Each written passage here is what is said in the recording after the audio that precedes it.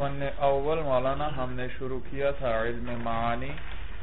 سب سے پہلے اس کی تعریف انہوں نے بتلائی کہ ہوا علم یعرف به احوال اللفظ العربی اللتی بها یطابق اللفظ مقتضى الحال۔ کہ وہ لفظ عربی کے ان احوال کو پہچاننا ہے جن کے ذریعے لفظ مطابق ہوگا۔ کس کے؟ مقتضى حال کے۔ جی۔ اور علم کے دونوں دو معنی کیے تھے کہ علم ملکہ کے معنی میں بھی آتا ہے، قدرت کے معنی میں بھی، اور قواعد معلومہ کے معنی میں بھی آتا ہے۔ اور یورپ کا لفظ استعمال کیا تھا کیونکہ اس میں ہم جزیات کو جانیں گے، ایک ایک فرد کو بھائی۔ جی۔ اور یطابق اس کی وہ احوال جانیں گے جن کے ذریعے لفظ مطابق ہوتا ہے مقتضى حال۔ تو باقی احوال خارج ہوئے بھائی، جو اور قسم کے ہیں۔ اور پھر یہ انہوں نے آپ کو بتلایا تھا کہ اس علم کے میں معرفت کا جو لفظ آیا، اس معرفت سے معرفت تصوری نہیں مراد، بلکہ معرفت تصدیقی مراد ہے۔ جی۔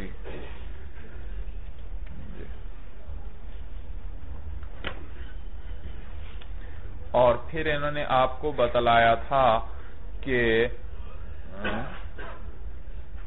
مقتضل حال جو ہے، ظاہر کلام سے کیا مفہوم ہوا تھا؟ کس کا نام ہے مقتضل حال؟ خصوصیت کا نام ہے۔ اور احوال، وہ بھی، حال بھی کس سے عبارت ہوا؟ خصوصیت سے، کہ اس خصوصیت کے ذریعے لفظ مطابق ہوگا بھائی۔ تو اس صورت کے اندر خرابی لازم آ رہی تھی۔ کیا خرابی؟ کہ مطابق کون ہوا؟ لفظ مطابق ہوا۔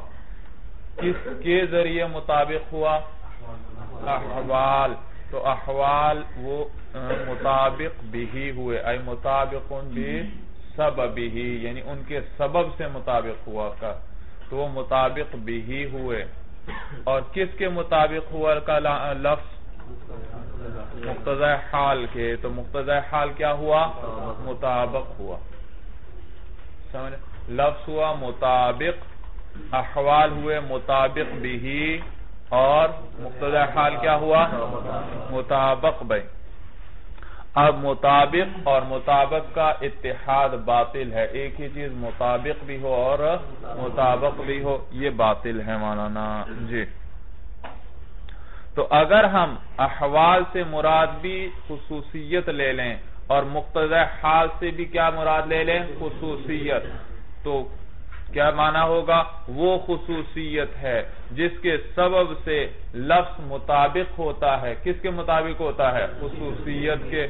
تو دیکھا، مطابق بھی اور مطابق میں کیا آیا؟ اتحاد لازم آیا۔ تو جس طرح مطابق اور مطابق میں اتحاد باطل تھا، اسی طرح مطابق بھی اور مطابق اتحاد بھی باطل ہے۔ جی۔ تو لہٰذا انہوں نے کیا کہا تھا؟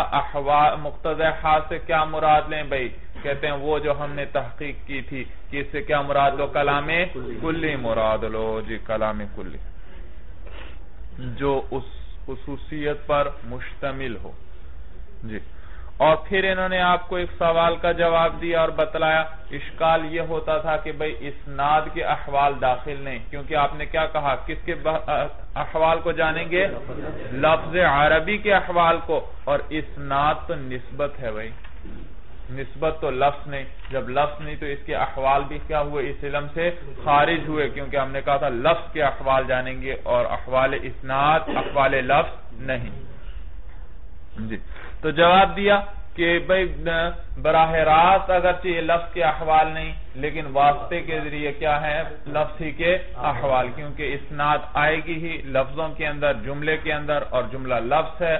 تو گویا اسناد کے احوال بھی کس کے احوال ہو گئے؟ لفظ ہی کے احوال ہو گئے۔ اگرچہ بلا واسطہ نہ صحیح، بل واسطہ ہی صحیح۔ جی۔ اس کے بعد انہوں نے وجہ حسر ذکر کی تھی۔ علامہ مصنف نے کہ بند ہے مقصود بھائی، ان میں معانی کا مقصود کتنے ابواب میں بند ہے؟ آٹھ ابواب میں۔ تو مقصود کے لفظ کے ذریعے بتلا دیا تھا کہ بھائی، اس علم معانی کے اندر تو تین چیزیں اور بھی ذکر کی ہیں انہوں نے۔ آٹھ ابواب آگے آ رہے ہیں اور شروع میں آپ کو تعریف بھی انہوں نے بتلائی۔ وجہ حسر بھی یہ مصنف ذکر کر رہے ہیں۔ اور آگے تنبیح بھی جو آج آپ پڑھیں گے، یہ تین چیزیں بھی ہیں۔ اس کے بعد آگے کتنے ہیں؟ آٹھ ابواب ہیں۔ تو وجہ حسر درست نہ رہی، آپ نے کہا آٹھ ابواب ہیں بھئی یہ تو خارجی ہو گئی حالانکہ ان کو مصنف نے کس میں علم معانی ہی کے ذیل میں ذکر کیا۔ تو جواب دے دیا مولانا، المقصود من علم المعانی۔ کہ جو آٹھ ابواب ہیں وہ کس پر مشتمل ہیں؟ جو مقصود ہے علم معانی کے یعنی علم معانی میں جو مسائل آئیں گے ان پر مشتمل ہے۔ تو وہ آٹھ ابواب ہیں۔ تو مقصود جب کہا تو غیر مقصود یہ خارج ہوئے بھائی جی۔ یعنی غیر مسائل خارج۔ اور وہ آٹھ ابواب یہ مولانا، اسناد خبری کے احوال ہیں۔ مسند علیہ کے احوال، مسند کے احوال، متعلقات فیل کے احوال، قصر کے اور قصر، اور انشاء ہے، فصل اور وصل ہے، ایجاد اتناب مساوات اور باقیوں میں احوال کا لفظ نہیں لے کر آئے قصر اور اس کے ماں بعد میں، کیونکہ یہ خود ہی کیا ہیں؟ احوال ہیں، یہ خود ہی احوال ہیں۔ جی۔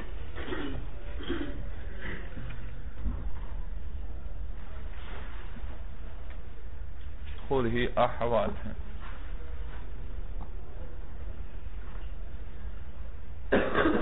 اس کے بعد انہوں نے مصنف نے وجہ حسر ذکر کی بھائی۔ آٹھ ابواب میں کیوں بند ہے؟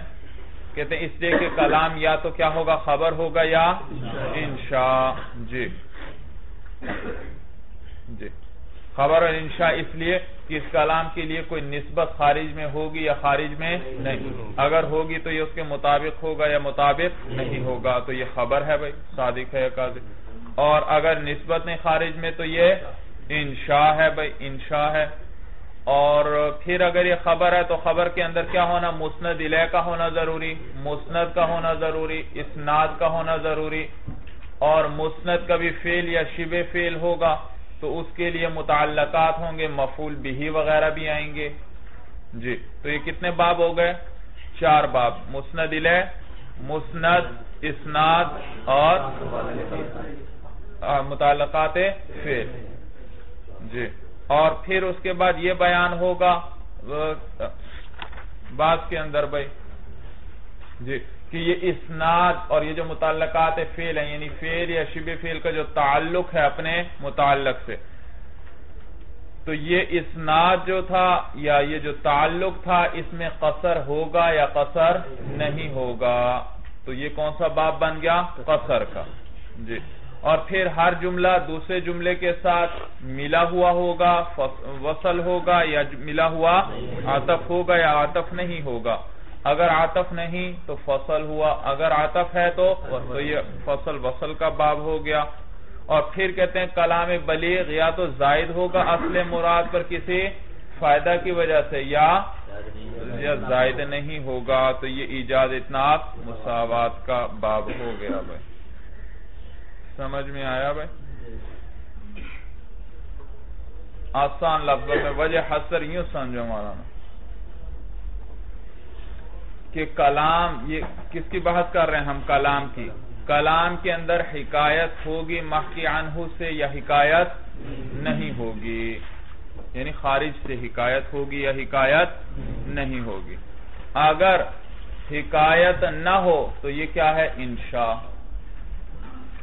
اگر حکایت نہ ہو تو انشاء۔ اگر حکایت ہے تو پھر اس کا تعلق ایک جز جملہ سے ہوگا یا جملتین یا فساعدن سے ہوگا، دو جملوں یا زیادہ سے اس کا تعلق ہوگا یا عام ہوگا بھئی کیا ہوگا؟ عام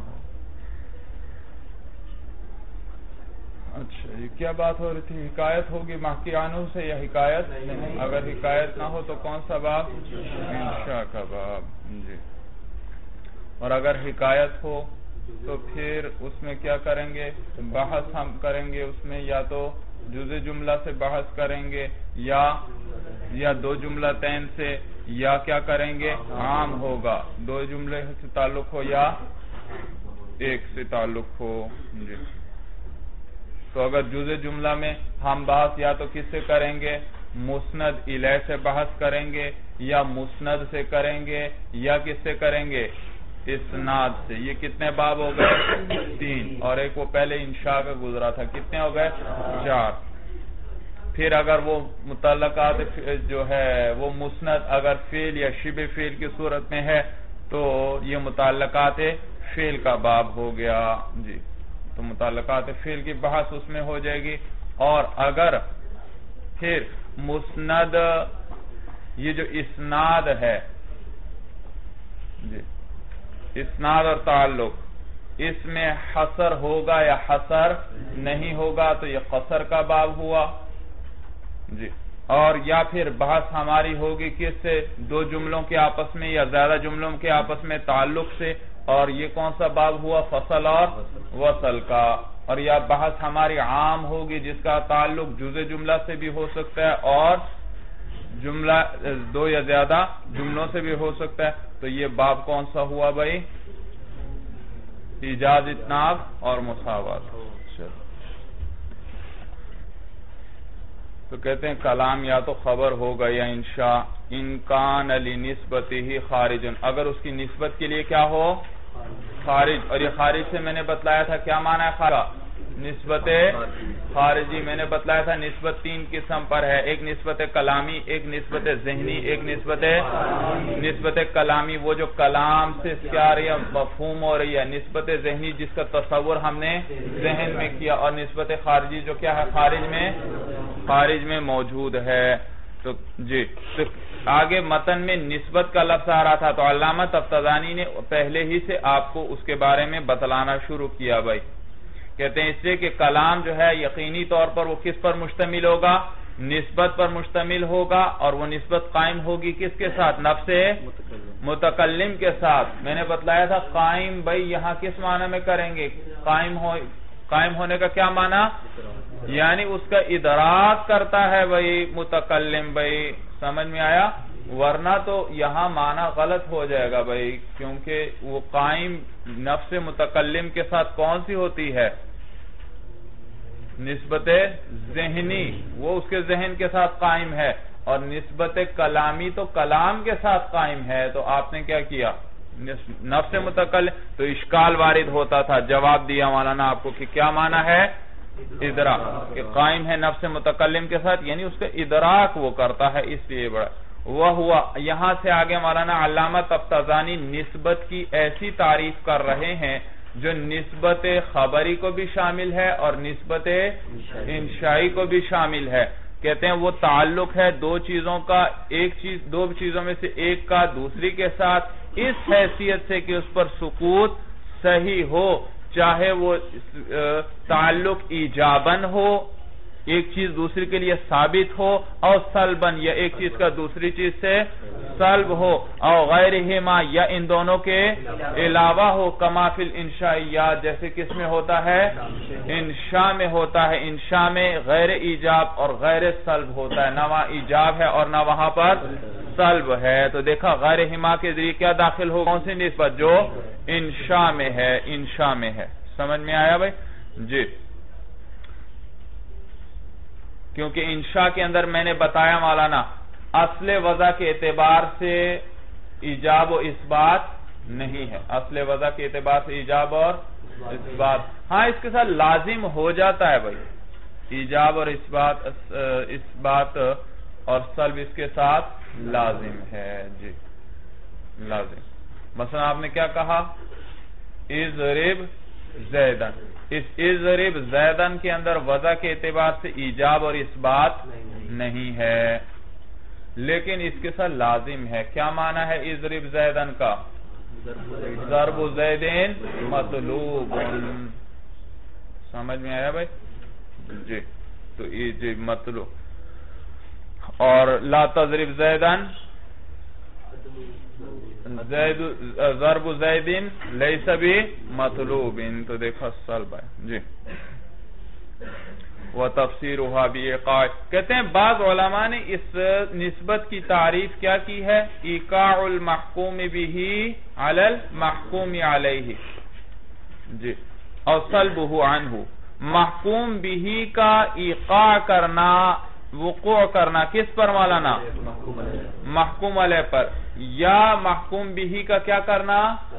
سلب کرنا۔ محکوم علیہ سے کہتے ہیں یہ غلط ہے، اس مقام پر درست نہیں۔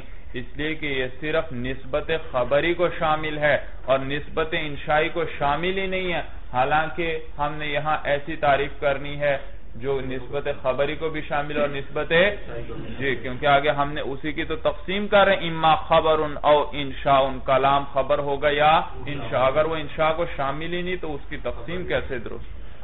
جی۔ کیوں؟ وجہ یہ کہ ایقا کا کیا معنی ہے مولانا؟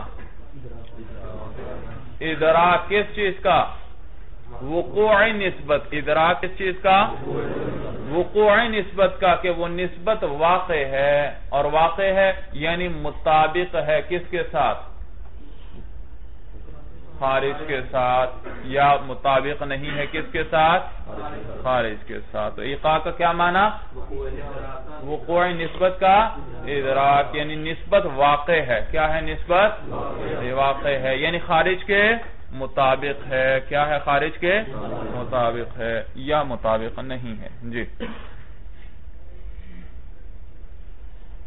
تو کہہ رہے ہیں مولانا انکان علی نسبتی ہی خارج اگر کلام کی نسبت کے لیے کوئی خارج ہو، یہاں خارج کس معنی میں ہے؟ ذہن نسبت یہ خارج سے مراد مولانا خارج نفس العمر میں واقع میں جو خارج ہے وہ نہیں مراد بلکہ یہاں کیا مراد ہے خارج سے؟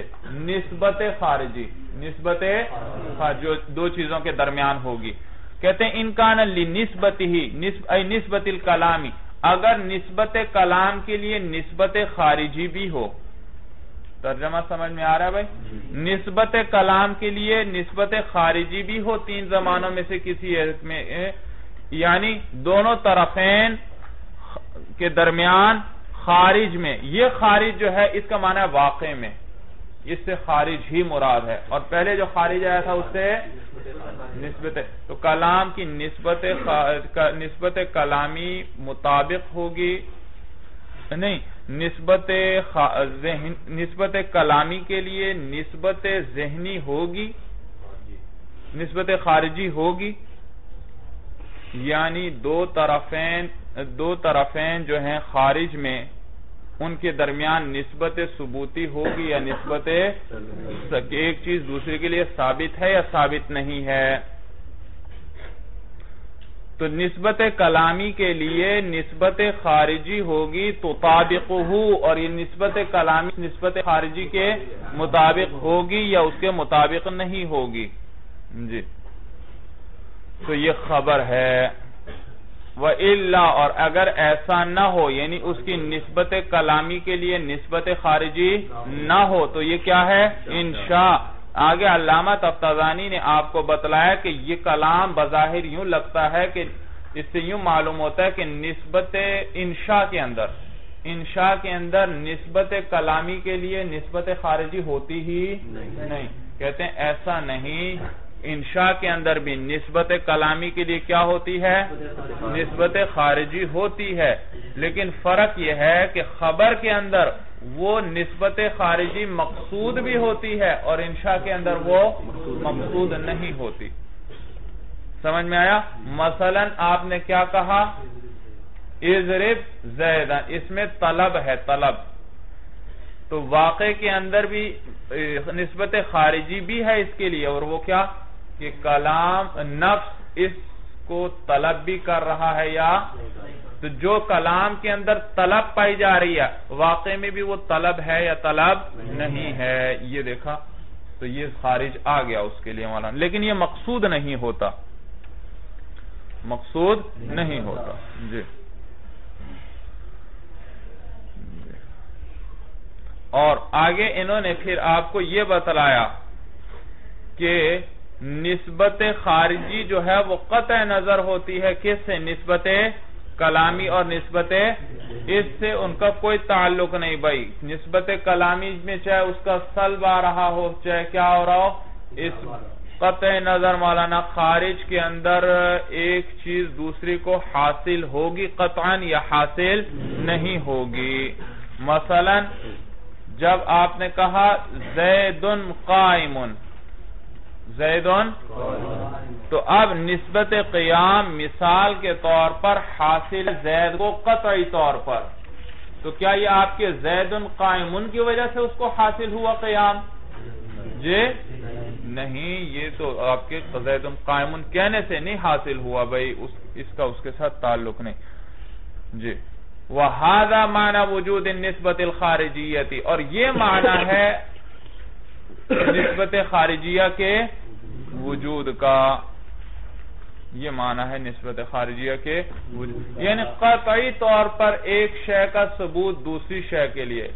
یا قطعی طور پر ایک شے کا سلب دوسری شے سے۔ یہ کیا ہے؟ نسبت خارجیہ کے پائے جانے کا یہ معنی ہے۔ جی دیکھیے آگے۔ آخر میں علامہ تفتزانی نے یہ کہا بھائی،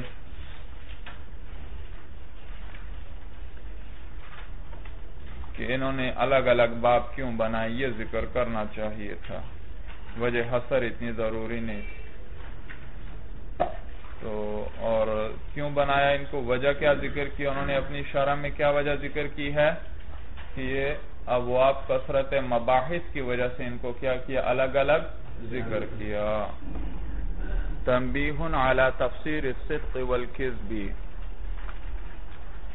ای حاضا تنبیح یہ خبر ہے، مبتدا محضوف ہے مولانا۔ ای حاضا حاضا تنبیح تنبیح لغت میں کہتے ہیں مولانا، نبہ ینبہ تنبیحا کسی کو متنبہ کرنا، بیدار کرنا بھئی جگانا اس کو۔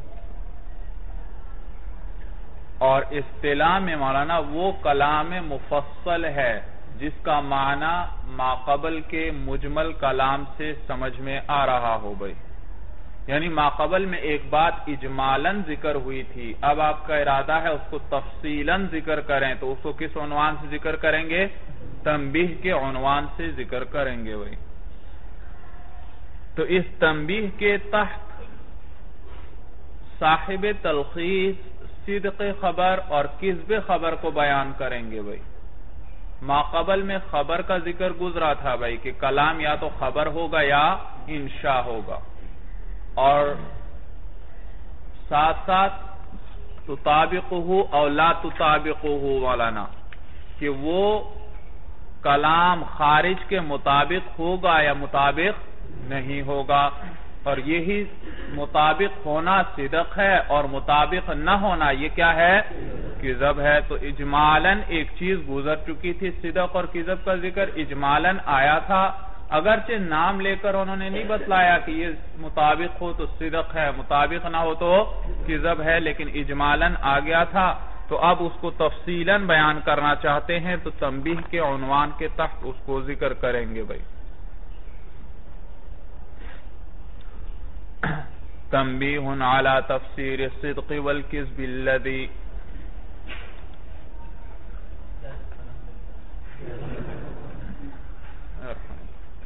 اچھا جی تنبیح علی تفسیر تنبیح نکرہ ہے، نکرہ کے بعد جار مجرور آ رہا ہے مولانا، اور عموماً نکرہ کے بعد جار مجرور آئے تو اس کے لیے صفت واقع ہوتا ہے۔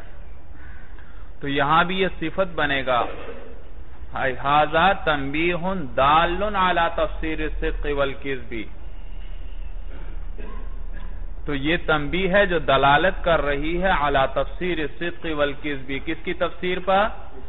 صدق و کذب کی تفسیر پر۔ الذي قد سبق اشارت ما الیہ۔ وہ صدق و کذب جس کی طرف گزر چکا ہے کچھ نہ کچھ اشارہ۔ اشارہ تم ماں والا نہ اشارہ نکرہ ہے۔ نکرہ کے بعد کبھی کبھار ماں کو بڑھاتے ہیں، ابہام کو بڑھانے کے لیے۔ تو یہاں بھی ماں بڑھایا، تقلیل جو تھی اس میں تاکید پیدا کرنے کے لیے کہ کچھ نہ کچھ اشارہ گزر گیا صدق و کذب کی طرف۔ کس میں؟ فی قولی ماتین کے اس قول میں تطابقہ اولا تطابقہ کے اندر۔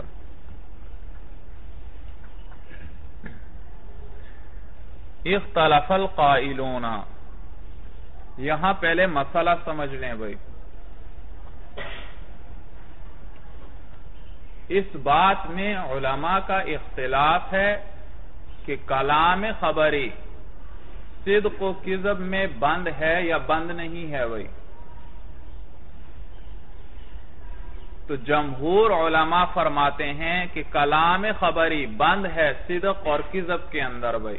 جو بھی کلام خبری ہوگا یا وہ صادق ہوگا یا کاذب ہوگا ایسا نہیں ہو سکتا کہ کلام خبری تو ہو لیکن نہ صادق ہو اور نہ کاذب ہو۔ یہ جمہور علماء کا مذہب ہے بھائی۔ اس کے مقابلے میں جاہز ہیں بھائی۔ جاہز فرماتے ہیں کہ کلام خبری کا صدق و کذب میں بند ہونا ضروری نہیں۔ ایسا بھی ہو سکتا ہے کہ کلام خبری ہو لیکن نہ صادق ہو اور نہ کاذب ہو گئی یعنی وہ ان دونوں کے درمیان واسطہ ثابت کرتے ہیں کہ ایسا کلام بھی ممکن ہے جو نہ صادق ہو اور نہ جبکہ جمہور کیا فرماتے ہیں کہ کلام خبری جب بھی ہوگا یا وہ صادق ہوگا یا کاذب ہوگا۔ تو پہلا اختلاف کس کے اندر آیا جمہور اور جاہز میں۔ جمہور کیا فرماتے ہیں کہ کلام خبری بند ہے کس کے اندر؟ صدق اور کذب میں۔ اور جاہز کیا فرماتے ہیں کہ کلام خبری صدق و کذب میں بند ایسا کلام خبری بھی ہو سکتا ہے جو نہ صادق ہو اور نہ کاذب ہو۔ پھر یہ جو جمہور جو ہیں، جو کہتے ہیں کہ کلام خبری بند ہوگا صدق اور کذب میں، ان میں پھر اختلاف ہے مولانا۔ اہل سنت والجماعت فرماتے ہیں کہ کلام خبری اگر وہ واقع کے مطابق ہے تو وہ صادق۔ اگر واقع کے مطابق نہیں تو وہ کاذب ہے۔ جبکہ اس کے مقابلے میں نظام معتزلی ہیں بھائی۔ نظام معتزلی یہ استاد ہیں جاہز کے بھائی۔ بہت بڑے ادیب گزرے ہیں مولانا عربی زبان کے۔ یہ معتزلی تھے بھائی، معتزلی۔ تو یہ فرماتے نہیں واقع کو نہیں دیکھا جائے گا بھائی۔ کلام خبری۔ اگر اعتقاد کے مطابق ہے تو صادق ہے، اگر اعتقاد کے مطابق نہیں تو کاذب ہے۔ مثلا مولانا، میں کہتا ہوں زید قائم اب اس بات میں تو نظام معتزلی اور اہل سنت والجماعت کا اتفاق ہے کہ جو بھی کلام خبری ہوگا یا صادق ہوگا یا ایسا نہیں ہو سکتا کہ کلام خبری ہو اور صادق بھی نہ ہو اور کاذب بھی نہ ہو، لیکن پھر تفسیر میں اختلاف کیا۔ بھئی کس کو کہیں گے کلام صادق، کس کو کہیں گے کلام کاذب؟ تو اہل سنت والجماعت کیا فرماتے ہیں کہ کس کے دیکھا جائے گا؟ واقع کو دیکھا جائے گا بھئی۔ میں نے آپ کو بتلایا تھا مولانا کہ نسبت تین قسم پر ہے۔ ایک نسبت کلامی ہے، ایک نسبت کلامیہ، ایک نسبت ذہنیہ اور ایک نسبت خارجیہ ہے۔ نسبت کلامی جیسے میں نے کہا، زید قائم بھئی۔ تو یہ جو کلام سے نسبت سمجھ میں آ رہی ہے، یہ کیا ہے؟ نسبت ہے کلامیہ پھر اس نسبت کا آپ نے ذہن کے اندر بھی تعقل کیا اس کا، تو یہ کیا کہلائے گی نسبت ہے ذہنیہ؟ بھائی، ذہن میں اس کو سوچا۔ اور خارج کے اندر بھی مولانا قیام زید کے لیے ثابت ہوگا یا ثابت، وہ کیا کہلائے گی؟ نسبت ہے خارجیہ۔ تو نسبت تین قسم پر ہے۔ تو اہل سنت والجماعت کہتے ہیں کہ کلام کلام صادق وہ ہے۔ کہ جو واقع کے مطابق ہو یعنی یوں کہو، نسبت کلامیہ، نسبت خارجیہ کے مطابق ہو گئی سمجھ میں آیا بھائی؟ میں نے کہا زید قائم اس سے نسبت کلامیہ آپ کو سمجھ میں آئی۔ قیام کس کے لیے ثابت کر رہا ہوں میں؟ اور خارج میں بھی دیکھا جائے گا کہ زید کے لیے اگر قیام ثابت ہے مولانا تو آپ دیکھو نسبت کلامیہ مطابق ہوئی کس کے ساتھ؟ نسبت خارجیہ کے ساتھ۔ تو یہ کیا ہے؟ کلام صادق ہے۔ اور اگر میں نے کہا زید قائم اور واقع کے اندر زید، خارج کے اندر زید کھڑا نہیں، تو نسبت کلامیہ کیا ہوئی؟ زید کے لیے ثبوت ہے کس چیز کا؟ قیام کا۔ اور نسبت خارجیہ کیا ہوئی؟ زید کے لیے قیام کا ثبوت نہیں ہے، تو زید سے قیام کی نفی ہے مولانا۔ تو نسبت کلامیہ مطابق نہ ہوئی، کس کے ساتھ؟ نسبت خارجیہ کے ساتھ۔ تو یہ کون سا کلام ہو؟ کلام کاذب۔ تو اہل سنت والجماعت کہتے ہیں کہ دار و مدار کس پر ہے مولانا؟ کہ نسبت کلامیہ کس کے مطابق ہو؟ نسبت خارجیہ کے۔ جبکہ نظام معتزلی کہتے ہیں کہ نسبت خارجیہ کو نہیں دیکھا جائے گا، نسبت ذہنیہ کو دیکھا جائے گا بھائی۔ اگر نسبت کلامیہ، نسبت ذہنیہ کے مطابق ہے، تو یہ کیا ہے؟ کلام صادق۔ اور اگر نسبت کلامیہ، نسبت ذہنیہ کے مطابق نہیں، تو پھر یہ کلام مثلا میں کہتا ہوں زید قائم اگر میرا اعتقاد بھی یہی ہے، یقین بھی یہی ہے کہ زید کیا ہے؟ کھڑا ہے۔ تو یہ کیا ہوا؟ کلام واقع کو نہیں دیکھا جائے گا کھڑا ہے یا بیٹھا ہے، اس کو نہیں۔ اور اگر میں زبان سے تو کہتا ہوں کہ زید قائم لیکن ذہن میں کیا ہے کہ زید کیا ہے؟ بیٹھا ہے۔ تو یہ کون سا کلام ہوا؟ کلام اگرچہ واقع کے مطابق ہی کیوں نہ ہو؟ واقع میں زید بیٹھا ہی کیوں نہیں؟ زید کھڑا ہی کیوں نہ ہو؟ لیکن چونکہ میرا اعتقاد نہیں تو نظام معتزلی کیا کہتے ہیں مولانا؟ کس کے ساتھ مطابقت دیکھی جائے گی؟ یعنی اعتقاد مخبر کو دیکھا جائے گا، خبر دینے والے کا اعتقاد کیا ہے؟ تو اس کلام خبری کی اگر مطابقت آئی مولانا، اس کلام اعتقاد مخبر کے ساتھ، تو یہ کیا ہے؟ کلام صادق۔ اور اگر مطابقت نہ آئی تو پھر یہ کلام کاذب ہے بھائی۔ سمجھ میں آیا بھائی؟ تو چاہے وہ مخبر کا اعتقاد غلط ہی کیوں نہ ہو، مثلا مولانا، ایک شخص کہتا ہے، السماء تحتنا، آسمان ہمارے نیچے ہے۔ تو جمہور کیا کہتے ہیں مولانا؟ کس چیز، اہل سنت والجماعت کیا کہتے ہیں؟ کس چیز کو دیکھا جائے گا؟ واقع کو۔ اور اس نے کیا کہا؟ السماء تحتنا. اور یہ واقع کے مطابق ہے تو یہ کیا ہوا کلام جبکہ نظام کیا فرماتے ہیں بھائی؟ کس کو دیکھا جائے گا؟ اعتقاد کو دیکھا جائے گا۔ اگر اس کا یہ اعتقاد ہے واقعی کہ آسمان کیا ہے؟ ہمارے۔ اب اگر چاہیے مولانا واقعی کے خلاف ہے، لیکن پھر بھی اس کو کیا کہیں گے۔ صادق کہیں گے۔ سمجھ میں آیا بھائی؟ اچھا نظام معتزلی دلیل دیتے ہیں مولانا، عجیب دلیل دیتے ہیں قرآن سے بھائی۔ اس مقام کو اچھی طرح سمجھ لیں بھائی، یہ مشکل مقام ہے۔ تلخیص اور مختصر المعانی کا۔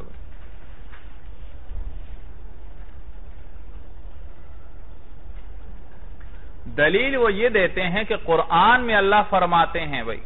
قرآن میں کیا آتا ہے؟ اذا جاءک المنافقون قالوا نشهد انك لرسول الله والله يعلم انك لرسوله والله يشهد ان المنافقين لكاذبون کہ جب حضور صلی اللہ علیہ وسلم کے منافقین آئے، انہوں نے کیا کہا؟ نشہد انکا لرسول اللہ ہم گواہی دیتے ہیں کہ آپ اللہ کے اچھا کیا گواہی دی انہوں نے کہ بے شک آپ اللہ کے رسول ہیں۔ تو اب آپ بتائیے مولانا کہ یہ کلام واقع کے مطابق ہے یا واقع کے مطابق نہیں؟ واقع کے مطابق ہے۔ حضور صلی اللہ علیہ وسلم اللہ کے کیا ہیں؟ رسول ہیں۔ تو نظام کہتے ہیں، دیکھا، اگر یہ کلام اگرچہ واقع کے مطابق ہے اور اس پر منافقین کو کیا کہنا چاہیے تھا کہ وہ سچے ہیں، لیکن آگے اللہ کیا فرما رہے ہیں؟ ان المنافقین لکاذبون۔ منافقین کیا ہیں؟ جھوٹے ہیں۔ معلوم ہوا کہ واقع کا اعتبار نہیں ہے، بلکہ کس کا اعتبار ہے؟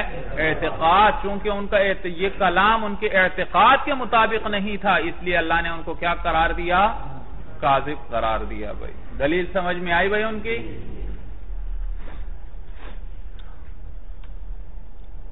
ورد بأن المعنى لكاذبون في الشهادة او في تسميتها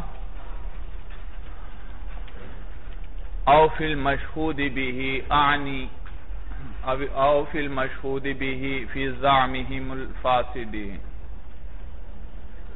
جواب مولانا، اہل سنت والجماعت کی طرف سے بھئی دیکھیے بھئی کتاب پر ذرا بھئی متن متن دیکھ رہے ہیں آپ۔ کتاب پر دیکھیے بھئی قالوا نشهد انك لرسول اللہ۔ یہ جو جملہ ہے انك لرسول اللہ، یہ مشہود بھی ہی ہے مولانا۔ انك لرسول اللہ کیا ہے؟ جس بات کی وہ گواہی دے رہے ہیں مولانا، جس بات کی گواہی دی جائے، وہ کیا کہلاتی ہے؟ مشہود بھی اس بات کی انہوں نے گواہی دی تھی۔ تو نظام معتزلی کہتے ہیں مولانا کہ ان کو جو قاضبون کا اطلاق آیا ہے منافقین پر، یہ مشہود بھی کے اعتبار سے آیا ہے۔ چونکہ یہ مشہود بھی ان کے اعتقاد کے مطابق نہیں تھا، اس لیے ان کو کیا کہا گیا؟ بھائی بات بھی سمجھ میں آ رہی ہے، ویسے ہی بیٹھے ہیں، خاموش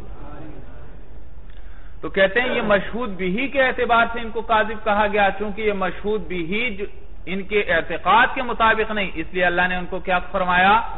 قاضبون ورنہ تو کہنا یہ ہونا تو یہ چاہیے تھا، اگر واقع کا اعتبار ہوتا تو یوں ہوتا، ان المنافقین لفادقون وہ کیا ہیں؟ اچھے ہیں، کیونکہ واقع کے تو یہ کلام مطابق ہے بھائی۔ اہل سنت والجماعت جواب دیتے ہیں مولانا، دو جوابات ہیں مولانا۔ ایک منعی ہے، ایک تسلیمی ہے مولانا کتنے جوابات ہیں؟ پہلا، دوسرا، تسلیم۔ اور پھر اس منعی کے طرق دو ہیں مولانا۔ دو طرق ہیں مولانا، دو طریقوں سے جواب دیا جائے گا۔ تو کل کتنے جواب ہو گئے؟ تین۔ تو دیکھنے میں یہ تین، لیکن در اصل کتنے ہیں جواب؟ دو ہیں۔ ایک منعی ہے، ایک تسلیمی ہے مولانا۔ البتہ منعی کے طرق دو ہیں مولانا۔ تو کل تین جوابات ہوئے بھائی۔ نظام نے کیا کہا تھا بھائی؟ کہ منافقین پر جو قاضبون کا اطلاق ہوا ہے، وہ کس کے اعتبار سے ہوا ہے؟ مشہود بھی ان نقل رسول اللہ کے اعتبار سے۔ پہلا جواب منعی ہم دیتے ہیں، لا نسلم ہمیں یہ آپ کی بات تسلیم نہیں ہے۔ اس اعتبار سے ان کو قاضبون نہیں کہا گیا، بلکہ ان کو قاضبون کہا گیا ہے جملہ زمنیہ کے اعتبار سے۔ کس اعتبار سے؟ جملہ زمنیہ کے اعتبار سے ان پر قاضبون کا اطلاق ہوا ہے۔ کس طرح بھائی؟ کہ اس یہ جو انہوں نے گواہی دی اس گواہی کے اندر انہوں نے تین تاکیدات ذکر کی۔ ان نقل رسول اللہ۔ پہلی تاکید جملہ اسمیہ لے کر آئے۔ دوسری تاکید انہ لے کر آئے۔ تیسری تاکید لام کو لے کر آئے مولانا۔ ان تین تاکیدات سے مولانا ایک اور جملہ زمنیہ حاصل ہوا مولانا۔ کلام میں تاکید پیدا کی جاتی ہے اپنے اعتقاد کو ظاہر کرنے کے لیے۔ کس لیے پیدا کی جاتی ہے؟ تو انہوں نے بھی تین تاکیدات ذکر کر کے گویا وہ یہ کہنا چاہتے تھے، حضور صلی اللہ علیہ وسلم کو یہ بتلانا چاہتے تھے کہ یہ جو ہم آپ کی رسالت کی گواہی دے رہے ہیں، یہ اپنے دل کی گہرائی سے دے رہے ہیں۔ خلوص قلب سے ہم کہہ رہے ہیں کہ آپ اللہ کے رسول ہیں۔ اور آپ مجھے بتائیے مولانا، یہ بات خلوص قلب سے تھی؟ نہیں، تو یہ واقع کے مطابق ان کا یہ کہنا کہ یہ کلام ہمارے دل کی گہرائی سے ہے، یہ کلام خلوص قلب سے ہے، یہ واقع کے مطابق ہے؟ نہیں۔ تو یہ کلام واقع کے مطابق نہیں، اس لیے ان کو کیا کہا گیا؟ غازبون کہا گیا۔ سمجھ میں آیا بھائی؟ تو منافقین، تو پہلا جواب منعی مولانا کیا لا نسلمو؟ انہوں نے کیا کہا تھا؟ نظام نے کیا کہا تھا؟ ان کو جھوٹا کہا گیا کس اعتبار سے؟ مشہود بھی کے اعتبار سے۔ ہم کہتے ہیں لا نسلمو، ہمیں یہ بات تسلیم نہیں ہے۔ مشہود بھی کے اعتبار سے ان کو قاذب نہیں کہا گیا، بلکہ جملہ ضمنیہ کے اعتبار سے کہا گیا ہے۔ اور جملہ ضمنیہ کہاں سے حاصل ہو رہا ہے مولانا؟ یہ جو تین تاکیدات انہوں نے کلام کے اندر ذکر کی ذکر کی۔ ان تین تاکیدات کے ذکر کرنے کے ذریعے گویا وہ یہ بتلانا چاہتے تھے، کیا؟ کہ ان شہادت من سمیم القلبی کہ یہ گواہی کس سے ہے؟ دل کی گہرائی، خلوص قلب سے ہے مولانا، خلوص قلب سے ہے۔ اور یہ خلوص قلب کے ساتھ تھی نہیں، تو یہ کلام ان کا واقع کے مطابق نہیں۔ جب واقع کے مطابق نہیں تو ان کو کیا کہا گیا؟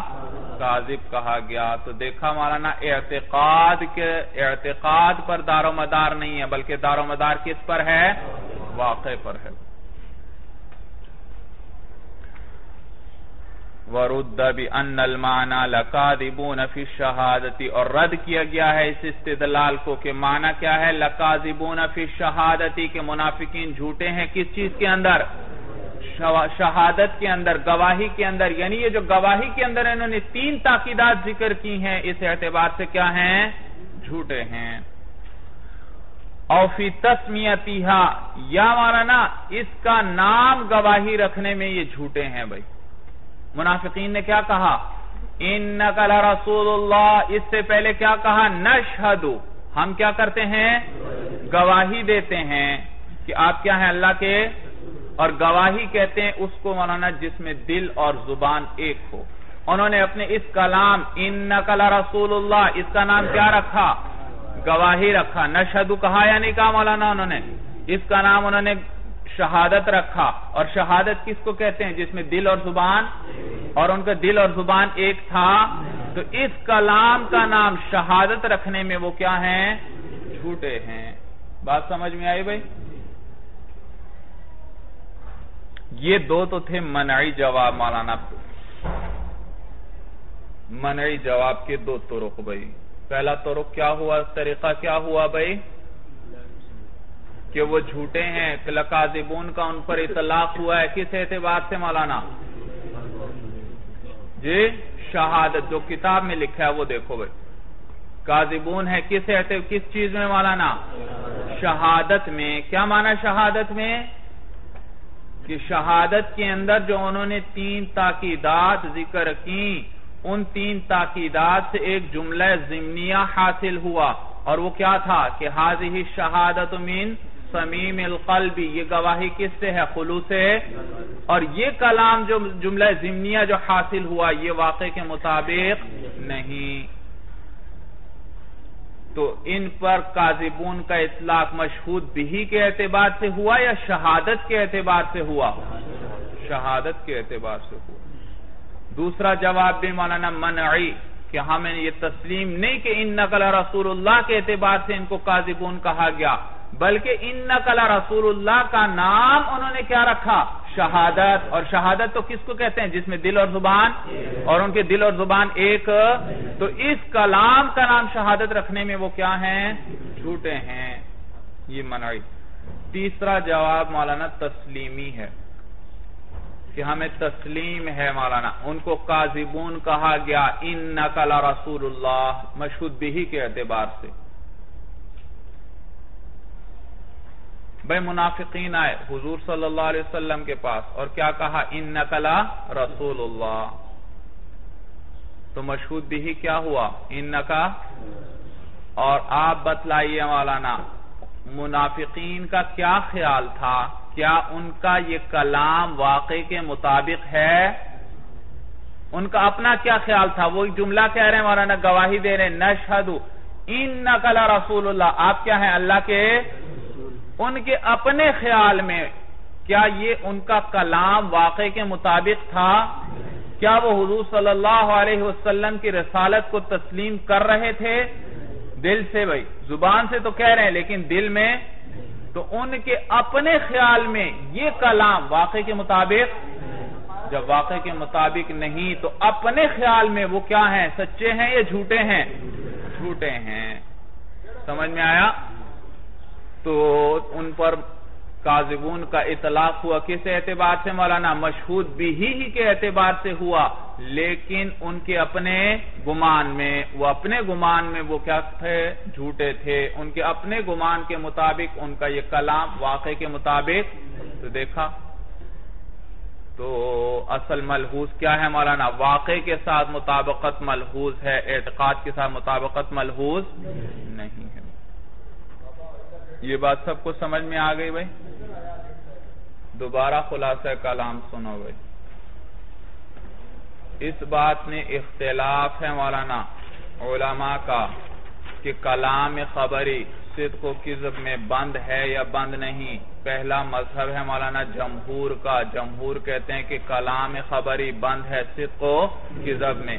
جو بھی کلام خبری ہوگا یا وہ صادق ہوگا یا قاضب جبکہ اس کے مقابلے میں جاہز ہیں، وہ فرماتے ہیں مولانا کہ کلام خبری ضروری نہیں کہ صدق و کذب صادق یا قاذب ہی ہو، بلکہ ایسا کلام خبری بھی ممکن ہے جو نہ صادق ہو اور نہ قاذب ہو گئے۔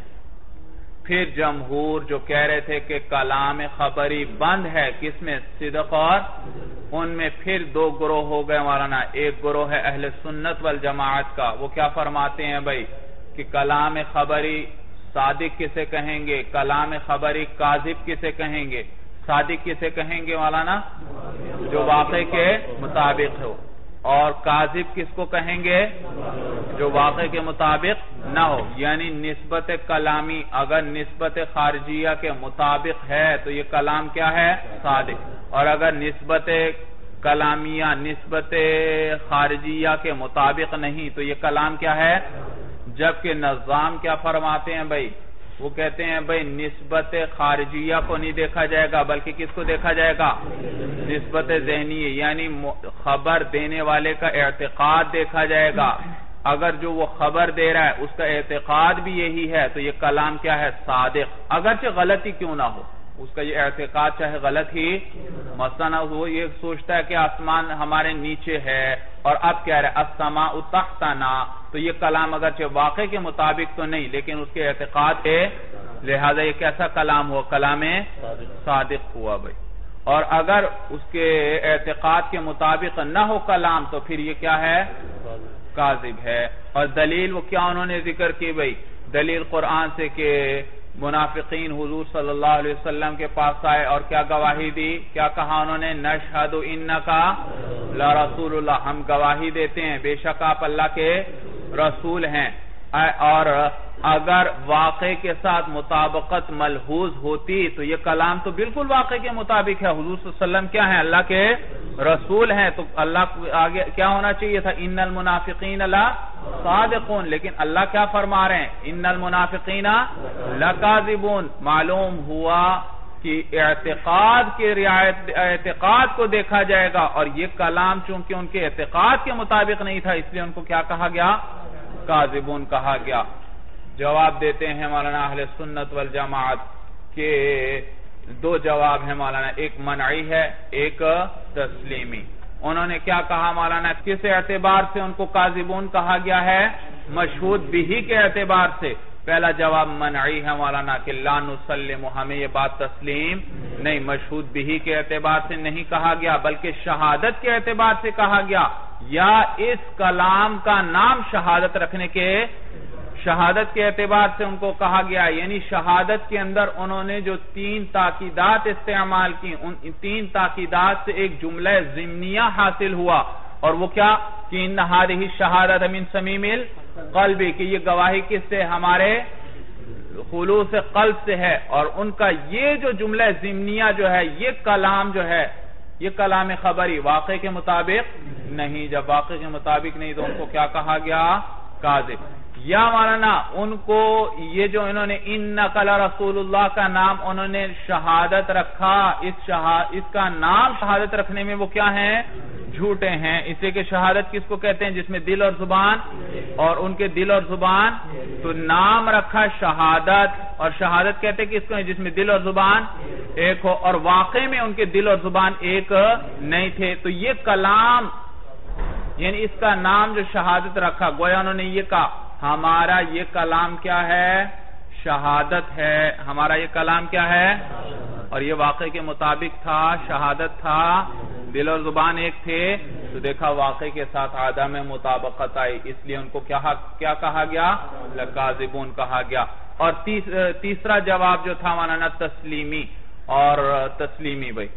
کہ ہم تسلیم کرتے ہیں کہ ان کو قاضبون کس اعتبار سے کہا گیا ہے؟ مشہود بھی کے اعتبار سے کہا گیا ہے۔ لیکن ان کے اپنے گمان میں، ان کا اپنا کیا گمان تھا کہ یہ جو ہم کلام کر رہے ہیں ان نقل رسول اللہ، یہ واقع کے مطابق نہیں۔ اور جب واقع کے مطابق نہیں تو وہ اپنے گمان میں کیا تھے؟ جھوٹے تھے۔ سب کو بات سمجھ میں آ گئی؟ اختلف القائلون بانحصار الخبر في الصدق والكذب في تفسيرهما. اختلاف کیا ہے مولانا؟ القائلون، کنہوں نے اختلاف کیا ہے؟ وہ جو قائلین ہیں، کس چیز کے قائلین ہیں؟ بن حصار الخبری کی خبر کے بند ہونے کے، فی الصدق والکذب، صدق اور کذب۔ وہ لوگ جو قائلین ہیں، خبر، کس چیز کے قائلین ہیں؟ کہ خبر بند ہے، صدق اور کذب میں۔ انہوں نے اختلاف کیا ہے۔ کس چیز میں؟ فی تفسیر ہما صدق و کذب کی تفسیر میں۔ فقیلہ، پس کہا گیا ہے، صدق الخبر مطابقت ہو صدق خبر کیا ہے؟ مطابقت ہے اس خبر کی۔ اے مطابقت حکمی ہی۔ صدق خبر کس چیز کا نام ہے مولانا؟ مطابقت. کس چیز کی مطابقت؟ ہاں ضمیر بھی راجے ہے خبر کو کہ وہ خبر مطابق ہو. للواقع. کس کے مطابق ہو؟ تو اگر واقع کے مطابق ہے تو صادق ہے. وَكِذْبُهُ عَدَمُهَا. اور کذب خبر کس چیز کا نام ہے؟ کہ وہ خبر واقع کے مطابق نہ ہو. فقیلہ کہا گیا ہے، صدق الخبر مطابقتہ. صدق خبر جو ہے، اس خبر کی مطابقت ہے، اے مطابقت حکمی ہی بے حکم کا لفظ نکال کر علامہ تفتازانی بتلانا چاہتے ہیں کہ مطابقتہ کا لفظ جو گزرا والا اس میں ہا ضمیر سے پہلے مضاف محضوف ہے۔ کلام اصل میں کیا ہے؟ مطابقت حکمی ہی کیا کہا انہوں نے مولانا؟ صدق خبر. کس چیز کا نام ہے؟ متن میں مطابقت کہ وہ خبر کیا ہو؟ خبر کا مطابق ہونا. خبر کا بتلایا، خبر مطابق نہیں ہوا کرتی، بلکہ مطابق حکم ہوا کرتا ہے. اس لیے کہ خبر تو نام ہے لفظوں کا. میں نے کہا زید قائم خبر کس کو کہیں گے؟ یہ جو لفظ میں نے کہے زید قائم یہ کیا ہے؟ خبر ہے. اور لفظ کس میں مطابقت اور عدم مطابقت نہیں ہوتی؟ ہاں ان لفظوں میں جو حکم ہے، وہ حکم کیا ہوگا مولانا؟ مطابق ہوگا یا مطابق نہیں ہوگا؟ تو بتلایا، تو بتلانا یہ چاہتے ہیں کہ مطابقت اور عدم مطابقت کے ساتھ اصلا اور بذات حکم موصوف ہوتا ہے۔ اور پھر حکم کے واسطے سے کون موصوف ہوتی ہے؟ خبر بھی موصوف ہوتی ہے کیونکہ حکم کس کے اندر پایا جا رہا ہے؟ بات سمجھ میں آئی؟ بھئی دیکھو، میں نے کہا زید قائم یہ جو لفظ میں نے کہے، لفظ مولانا، اس کا نام ہے خبر۔ اور اس خبر میں کیا موجود ہے مولانا؟ ایک حکم موجود ہے۔ میں کیا چیز ثابت کر رہا ہوں زید کے لیے؟ قیام۔ تو یہ جو حکم ہے اصلاً اور بذات یہ حکم موصوف ہوتا ہے، یہ مطابق ہوگا یہ جو زید کے لیے ثبوت قیام ہے، یہ مطابق ہوگا کس کے ساتھ؟ خارج کے ساتھ یا مطابق؟ نہیں۔ تو اصل میں موصوف ہوتا ہے مطابقت اور عدم مطابقت کے ساتھ حکم اور پھر اس حکم کے واسطے سے موصوف کون ہو جاتی ہے؟ خبر بھی. خبر کو بھی ہم کیا کہہ دیتے ہیں؟ یہ واقعے کے مطابق ہے یا واقعے کے مطابق؟ حالانکہ خبر تو کس چیز کا نام ہے؟ لفظوں کا نام. اور لفظوں میں مطابقت وہ موصوف نہیں ہوتا. کس کے ساتھ؟ مطابقت اور عدم مطابقت کے ساتھ ہوئے. تو مولانا علامہ تفتزانی یہ بتلانا چاہتے ہیں، حکم کا لفظ نکال کر کے بھئی اصل موصوف مطابقت اور عدم مطابقت کے ساتھ حکم ہوتا ہے بالذات اور بلا واسطہ۔ اور پھر اس حکم کے واسطے سے کون موصوف ہوتی ہے؟ خبر بھی موصوف ہو جاتی ہے مطابقت یا عدم مطابقت کے ساتھ۔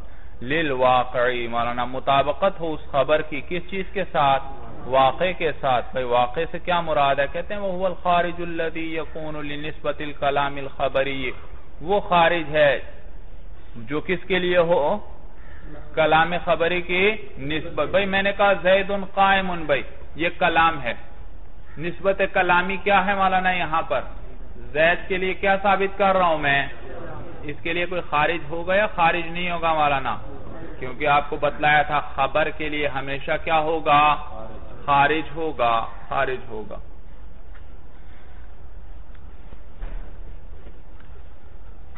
وہ الخارج الذي، وہ خارج ہے الذي يكون لنسبت الكلام الخبری یہ جو نسبت کلام خبری کے لیے ہو مولانا، تو یہ نسبت، یہ جو نسبت ہے کلام خبری میں اس کے لیے جو خارج ہے وہ کیا ہے؟ واقع۔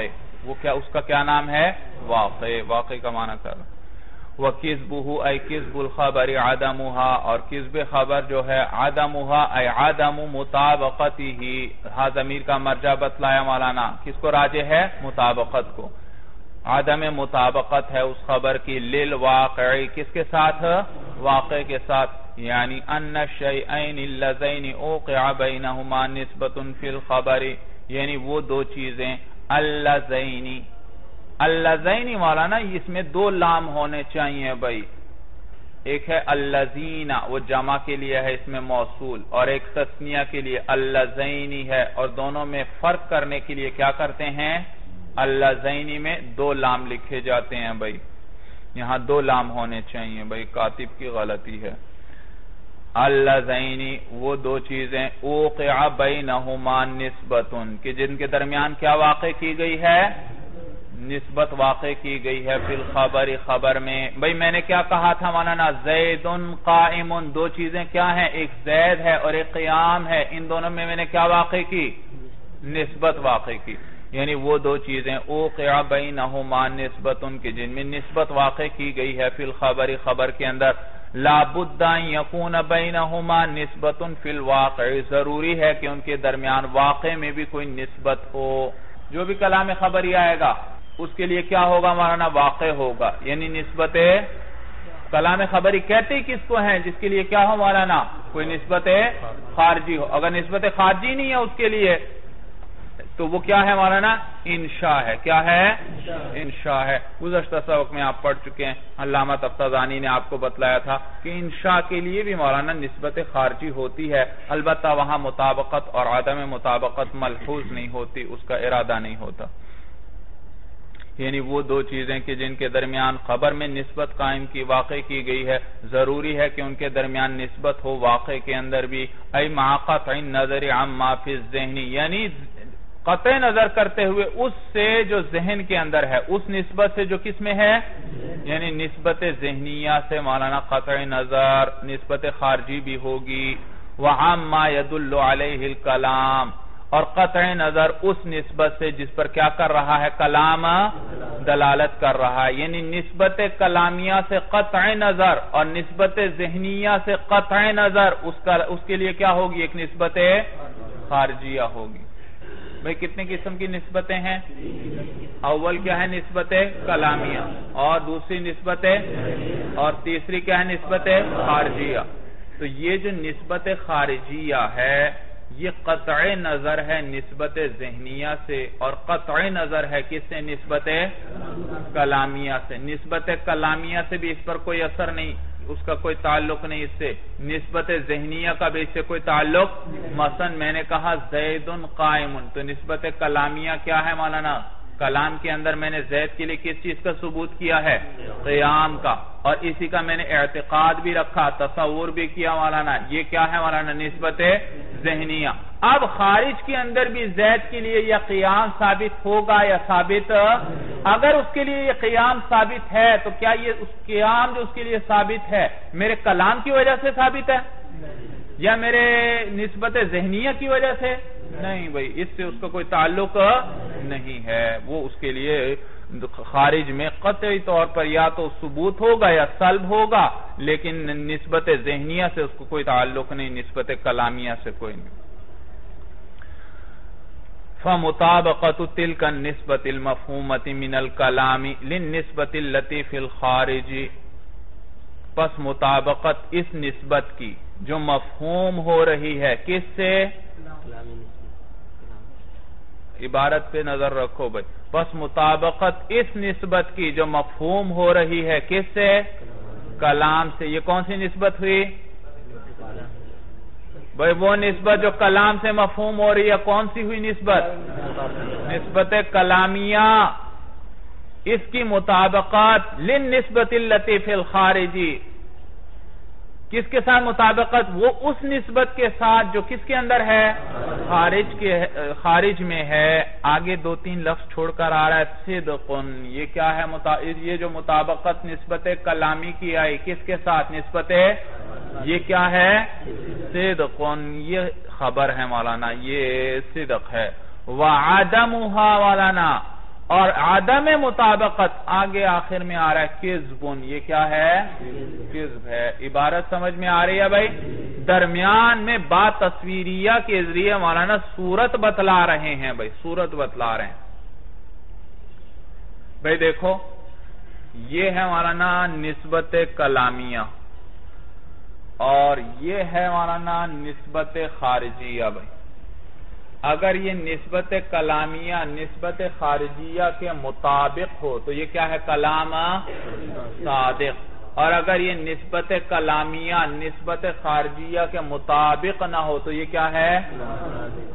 تو مولانا مطابقت آئے گی تو کلام صادق. مطابقت نہیں آئے گی تو کلام اب مطابقت کی بھی دو صورتیں ہیں اور عدم مطابقت کی بھی دو مطابقت کی دو صورتیں یہ ہیں.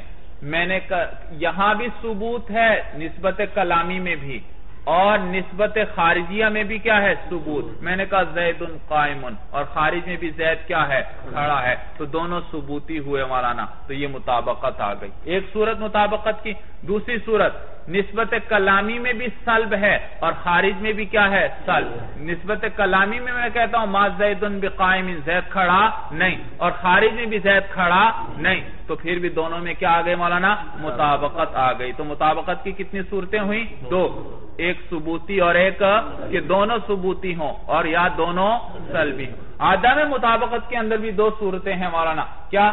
کہ نسبت کلامی ہو ثبوتی اور نسبت خارجی ہو سلبی بھائی کلام میں میں نے کہا زید قائم اور خارج میں زید کھڑا نہیں۔ یا مولانا ادھر سلب ہو، اس کا عکس کر لو۔ نسبت کلامی میں سلب ہو اور خارج میں کیا ہو؟ ثبوت۔ میں نے کہا، ما زید بقائمین اور خارج میں زید کیا ہے؟ کھڑا ہے۔ تو یہ بھی کیا ہے؟ عدم مطابق۔ تو مطابقت کے اندر یا تو دونوں ثبوتی ہوں گے یا دونوں سلبی۔ اور عدم مطابقت میں ایک ثبوتی ہوگا اور ایک سلبی ہوگا۔ دیکھیے بھائی، دیکھیے۔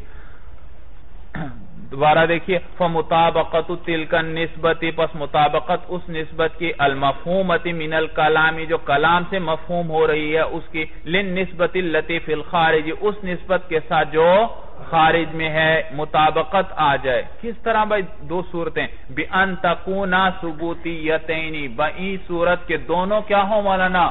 ثبوتی ہوں۔ او سلبیتین یا دونوں کیا ہو مولانا؟ سلبی ہوں صدقن یہ کیا ہے؟ صدق ہے۔ وعدمها ای عدم المطابقت حضمیر مطابقت کو راجے۔ اور عدم مطابقت اس نسبت کلامی کی کس کے ساتھ؟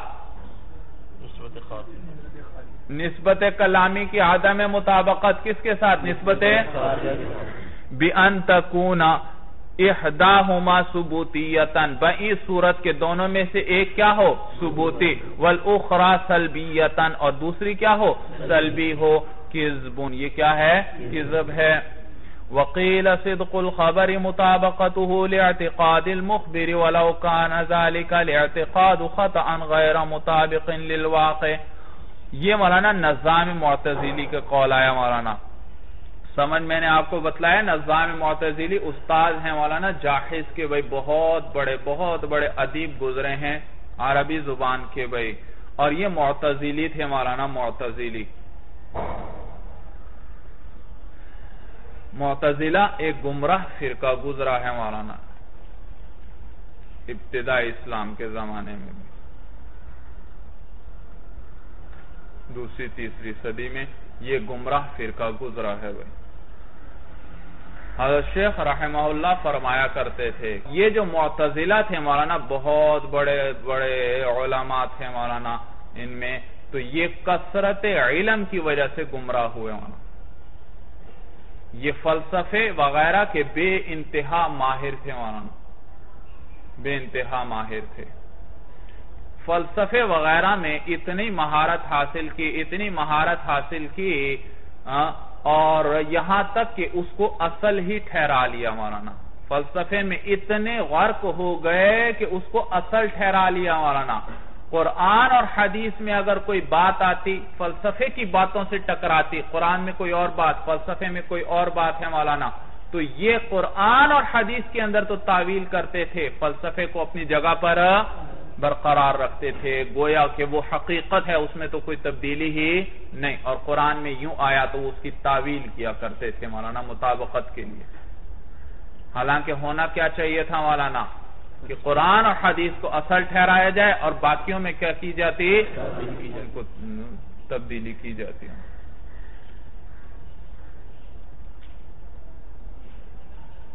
سمجھ میں آیا؟ یہ لوگ مولانا معراج جسمانی کے منکر تھے بھائی۔ اہل سنت والجماعت تو کیا فرماتے ہیں بھائی کہ حضور صلی اللہ علیہ وسلم معراج پر اپنے جسم اتھر کے ساتھ تشریف لے گئے۔ وہ کہتے تھے نہیں، جسمانی معراج ممکن ہی نہیں۔ اس لیے کہتے ہیں کہ یہ جو زمین ہے اس زمین کے ارد گرد ایک پورا نار ہے مولانا۔ آگ کا گولا ہے، آگ کا قرآ ہے مولانا۔ گھیرا ہوا ہے چاروں طرف سے، اس نے زمین کو ہر طرف سے گھیرا ہوا ہے۔ اور جب وہ آگ کا قرآ ہے تو اس میں سے کوئی جسم گزر ہی نہیں سکتا۔ وہ تو جل جائے گا جو بھی جسم گزرے گا۔ تو لہذا معلوم ہوا معراج جسمانی بھی ممکن نہیں۔ حضور صلی اللہ علیہ وسلم اس میں سے گزر نہیں سکتے۔ تو دیکھا فلسفے کی بات تھی کہ قرآن نار ہے مولانا، فلسفہ، فلاسفہ کیا کہتے تھے؟ بھائی، زمین کی گت کیا ہے؟ قرآن نار ہے۔ تو فلاسفہ کی بات مان لی اور قرآن اور حدیث کی بات میں کیا کر دی انہوں نے؟ تعویل کر دی کہ یہ جسم کے ساتھ نہیں ہوئی معراج، بلکہ روحانی تھی۔ صرف کیا تھی؟ روحانی تھی۔ اسی طرح ان کا عقیدہ تھا مولانا۔ کہ جنت اور دوزخ موجود نہیں ہے بھائی۔ اہل سنت والجماع ہمارا تو یہ مذہب ہے مولانا، جنت اور دوزخ اس وقت بھی موجود ہیں بھائی۔ اور وہ کہتے تھے، نہیں بھائی۔ وہ کہتے تھے جیسے کہ فلسفے والے کہتے ہیں، تیرہ کورے ہیں مولانا۔ کیا ہیں؟ تیرہ کورے ہیں، ایک دائرے کے بعد دوسرا دائرہ ہے تیسرا، چوتھا، پانچواں، اسی طرح تیرہ کورے ہیں۔ اور ان کوروں سے باہر نہ خلا ہے، نہ ملا نہ خالی جگہ ہے، نہ بھری ہوئی جگہ ہے۔ جگہ ہے ہی نہیں تو جنت اور جہنم کہاں ہے مولانا؟ کہتے تھے گویا یعنی کہ اللہ کے پاس جگہ ہی نہیں ہے کہ کہاں پر جنت اور دوزخ کو پیدا کریں بھائی۔ یہ تیرہ کورے ہیں بس۔ ہاں کہتے جب قیامت کے دن اللہ سب کچھ ختم کر دیں گے تو پھر ان کی جگہ پر کیا کریں گے؟ جنت اور جہنم کو پیدا فرمائیں گے۔ جبکہ اہل سنت والجماعت کیا کہتے ہیں؟ جنت اور جہنم موجود ہیں ابھی بھی۔ بھائی یہ تو فلسفے کی بات ہے مولانا کہ تیرہ کرے ہیں اور ان سے باہر نہ خلا ہے، نہ خالی جگہ ہے، نہ ملا بھری ہوئی جگہ ہے۔ اور آج سائنس نے بھی یہ مولانا یہ جیسے مسئلہ انہوں نے کیا کہا تھا کہ زمین کی گرد کیا ہے؟ قرآن نار ہے، لہذا میں جسمانی ممکن نہیں، کوئی جسم اس کے باہر جا ہی آج دیکھیں مولانا، خلائی راکٹ وغیرہ جا رہے ہیں، انسان جا رہے ہیں، مولانا خلا کے اندر کوئی قرآن نار ہے بھائی؟ کوئی قرآن نار نہیں ہے بھائی، سب آ رہے ہیں، جا رہے ہیں۔ تو کبھی دیکھا؟ فلسفے میں یہ لوگ بے انتہا ماہر تھے۔ کبھی کبھار مولانا دیکھا، کثرت علم بھی گمراہی کا سبب بن جایا کرتا ہے بھائی۔ دعا کرو اللہ ہمیں ہر قسم ہر قسم کی گمراہیوں سے ہم سب کی حفاظت فرمائے بھائی۔ تو یہ کثرت علم کی وجہ سے گمراہ ہوئے۔ شیخ رحم اللہ فرماتے ہیں کہ ایک مرتبہ طالب علمی کے اندر ہم، یہ پتا چلا کسی جگہ کوئی بڑے عالم آ رہے ہیں، مقرر ہیں، تقریر ہوگی۔ کہتے ہیں کافی فاصلے پہ تھا گاؤں، بھائی وہاں ہم گئے۔ رات کو عشاء کے بعد ان کا بیان تھا، کچھ ساتھی ہم گئے وہاں بیان میں بیٹھے ہوئے۔ کہتے ہیں وہ خطیب صاحب بھی آئے بھائی بڑی پگڑی شگڑی باندھی ہوئی ہے بھائی اور تقریر انہوں نے شروع کی بھائی۔ ہم نے کہا، چلو بھائی، دو چار منٹ بیٹھتے ہیں، پھر چلتے ہیں واپس بھائی۔ کہتے ہیں، اب ہم اٹھنے کا ارادہ کر رہے تھے، اس نے تقریر شروع کی ہے۔ تقریر کے اندر کہتا ہے، آج میں قرآن سے ختم ثابت کروں گا بھائی۔ ہم اٹھنے لگے تھے، جانے لگے تھے، ہم وہیں بیٹھ گئے کہ پتہ نہیں کون سی کتنی وزنی دلیل قرآن سے ختم ثابت کرے گا، معلوم ہوا کوئی بڑی وزنی دلیل لے کر آئے گا۔ کہتے ہیں، ہم وہاں بیٹھے رہے۔ دو گھنٹے تک تقریر کر رہا ہے، وہ دلیل نہیں آ رہی بھائی۔ پھر ہم نے ارادہ کیا کہ اب چلنا چاہیے۔ تو پھر اس نے اپنی بات شروع کی بھائی۔ کہتے ہیں، میں نے آپ لوگوں سے وعدہ کیا تھا کہ آج میں قرآن سے ختم کو ثابت کروں گا بھائی، آپ لوگوں نے قرآن میں نہیں پڑھا، اللہ فرماتے ہیں، ختم اللہ علی قلوبہم والا دیکھا، ختم شریف ثابت ہو گیا، اللہ خود فرما رہے ہیں، ختم اللہ، بھائی۔ تو یہ جہالت کی وجہ سے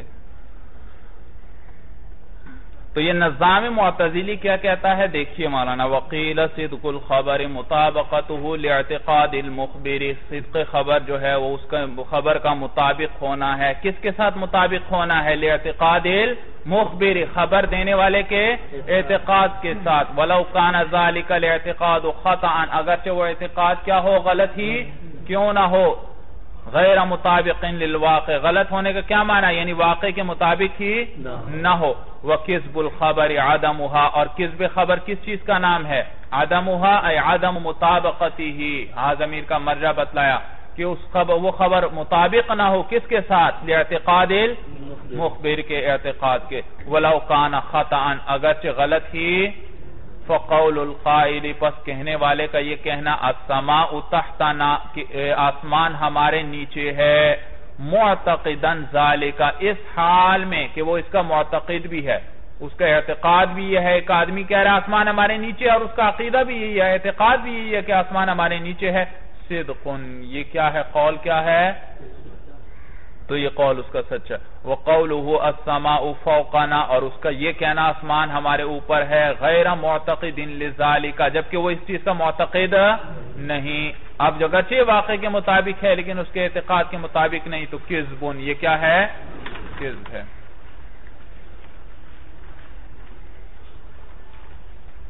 والمراد بالاعتقاد الحكم والحكم الذهني الجازم او الراجح۔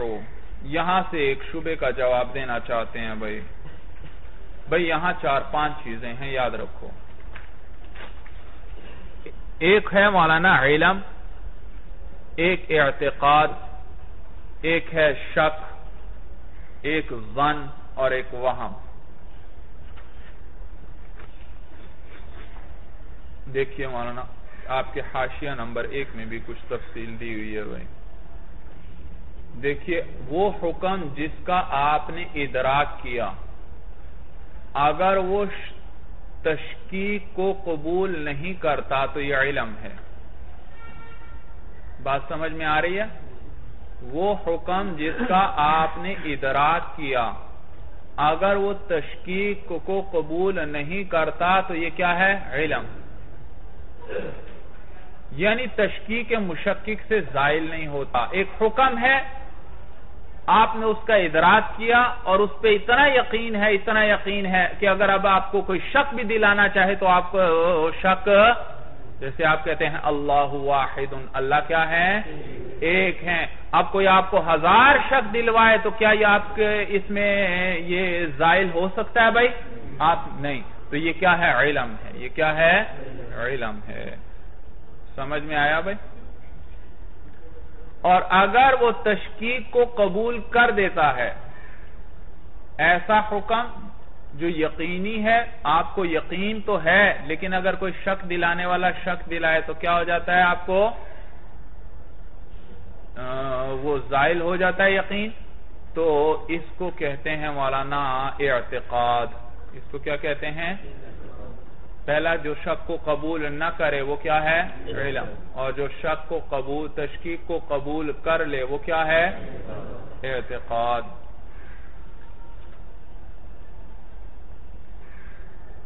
پھر یہ تو تھا مولانا، اگر آپ کو یقین ہو، یقین کی پھر دو صورتیں۔ ایک تشکیق کو قبول کرتا ہے، ایک تشکیق کو قبول۔ اور اگر تردد ہے مولانا آپ کو ایک بات میں مثلا قیام زید ہے کہ پتہ نہیں زید کھڑا ہے یا زید کھڑا نہیں۔ اگر تردد ہو، تو اس میں یا تو جانبین برابر ہوں گی یا ایک جانب راجح ہوگی اور دوسری مرجح مثلا آپ کو پتہ نہیں ہے زید کھڑا ہے یا زید کھڑا نہیں، آپ کو شک ہے۔ اب اس کی دو ہی صورتیں ہیں مولانا۔ یا تو ایک جانب کو کیا ہوگی؟ راجح ہوگی۔ آپ کا غالب گمان کیا ہے؟ زید کیا ہے؟ کھڑا۔ یہ زن کہلائے گا۔ جو جانب راجح ہوگی، وہ کیا کہلاتی ہے؟ زن۔ اور جو مرجو ہو، وہ وہم کہلاتا ہے۔ زیادہ خیال یہ کہ زید کھڑا ہے۔ اور، کم کیا ہے؟ کہ کھڑا۔ تو راجح کو کیا کہیں گے؟ زن۔ اور مرجوح کو کیا کہیں گے؟ وہم۔ اور اگر تردد ہے حکم میں اور جانبین بالکل برابر ہیں، تو اس کو کہتے ہیں شک بھائی۔ مثلا آپ تردد ہے اس چیز میں کہ زید کھڑا ہے یا زید کھڑا، دونوں جانبین برابر ہیں مولانا، تو پھر اس کو کیا کہیں گے؟ شک کہیں گے۔ یہ پانچ لفظ سمجھ میں آئے بھائی۔ علم کس کو کہتے ہیں؟ وہ حکام جو جازم ہو یعنی قطعی ہو اور تشکیق کو قبول نہ کرتا ہو۔ اعتقاد کس کو کہتے ہیں؟ وہ حکام جو جازم ہو لیکن تشکیق کو کیا کر لیتا ہے؟ قبول کر لیتا ہے۔ اور اگر اس وہ حکم میں یقین نہیں بلکہ تردد ہے، تو تردد کی صورت میں جانبین یا تو برابر ہوں گی۔ اگر جانبین برابر ہوں تو یہ کیا ہے؟ شک ہے۔ اور اگر ایک جانب راجح ہے تو یہ جانب راجح کیا کہلائے گی؟ زن اور جانب مرجوح کیا کہلائے گی؟ وہم کہلائے گی۔ تو پانچ چیزیں ہوئی مولانا، علم، اعتقاد، زن، وہم اور شک ان میں سے یاد رکھو، جو وہم ہے اور جو شک ہے، یہ تصور کی قبیل سے ہیں، جبکہ علم، اعتقاد اور زن، یہ تینوں مولانا تصدیق کی قبیل سے ہیں۔ یہ تینوں تصدیقات ہیں۔ کون کون تصور ہیں بھائی؟ وہم اور شک۔ کیا ہے تصور اور زن علم اور اعتقاد یہ کیا ہیں؟ تصدیق ہیں۔ آپ دیکھیے مولانا متن میں لفظ آیا تھا اعتقاد بھائی۔ کہ اگر خبر مطابق ہو کس چیز کے؟ اعتقاد کے تو اس کو کیا کہیں گے؟ صادق۔ اور اگر اعتقاد کے مطابق نہیں تو اس کو کیا کہیں گے؟ کاذب کہیں گے۔ تو اس پر شبہ ہوتا تھا کہ بھئی آپ نے صرف اعتقاد کی بات کی ہے۔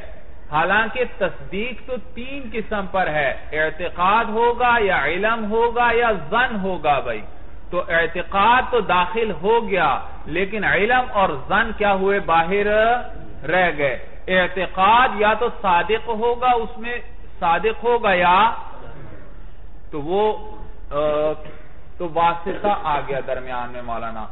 وہ صورت یعنی علم علم بھی خارج ہوا اور زن بھی کیا ہوا اس سے؟ خارج ہوا۔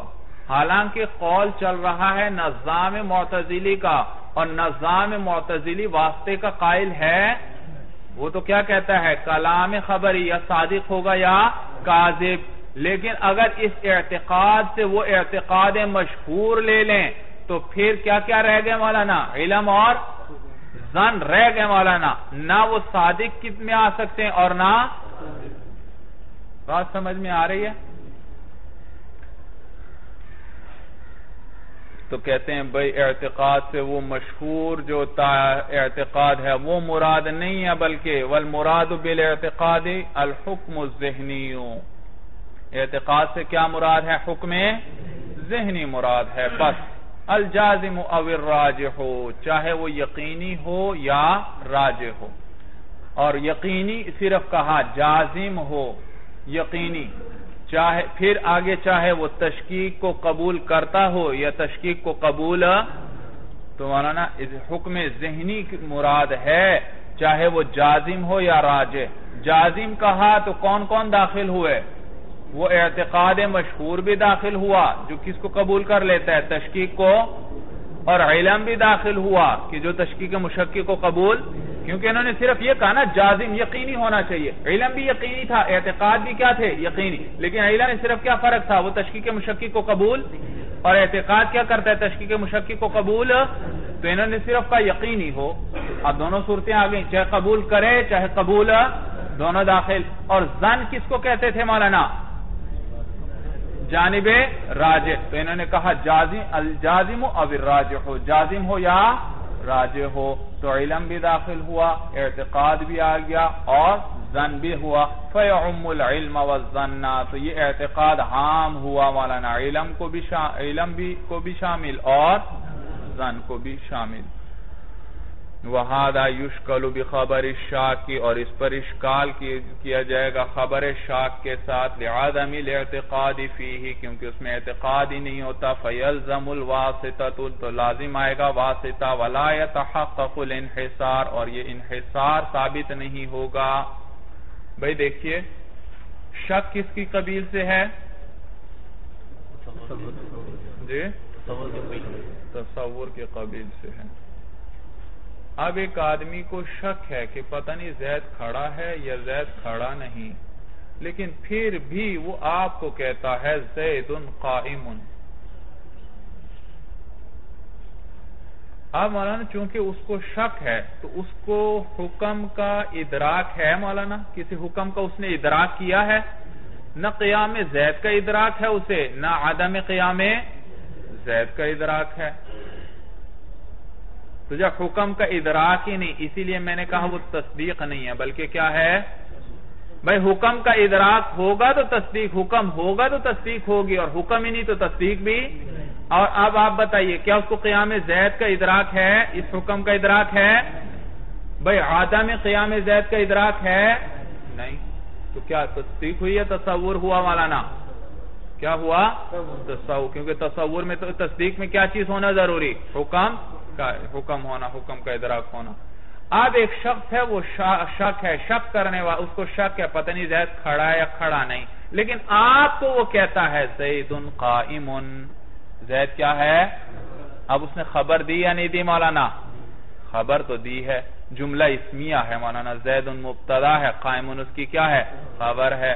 اور تو یہاں پر مولانا، اس کی نسبت متکلم مثلا جس کو شک ہے اس کی نسبت سے تو یہ تصور ہے۔ یہ کیا ہے؟ تصور ہے۔ اور جو سننے والا ہے، اس کی نسبت سے کیا ہے؟ تصدیق ہے۔ کیونکہ اس نے جو کلام خبری سنا یا نہیں سنا والا نا سنا ہے۔ تو یہاں پر دو دو اعتبار ہو گئے۔ ایک اعتبار ہوا متکلم کا تو متکلم کے اعتبار سے کیا ہے مولانا؟ اور کس کے اعتبار سے؟ مخاطب کے اعتبار سے یہ کیا ہے؟ تصدیق ہے۔ آپ مولانا دیکھو تو اس شک والے آدمی نے کہا زید قائم زید کیا ہے؟ اب یہ کلام صادق ہے یا قاذب ہے؟ آپ مجھے بتائیے۔ بھئی دیکھو